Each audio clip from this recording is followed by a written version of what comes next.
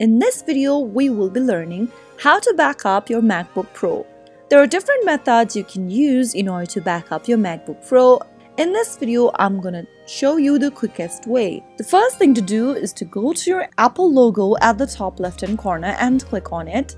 Select System Preferences from the list. Now, choose Time Machine and click it open. In the Time Machine preference window, click on Select Backup Disk. Choose the external drive you connected earlier from the list of available disks and click on Use Disk. After selecting the backup disk, Time Machine will start backing up your MacBook Pro automatically. You can also set up your Time Machine to back up automatically by checking on this little box over here and select one of the external device. But remember that you will need an external drive or SSD with enough storage space to back up your MacBook Pro.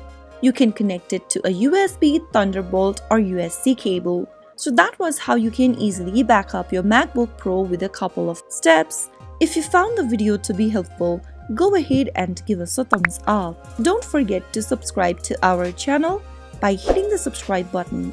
Also press on the notification bell so that you'll never miss another upcoming upload from us. I will be back again in the next video. Thank you for watching.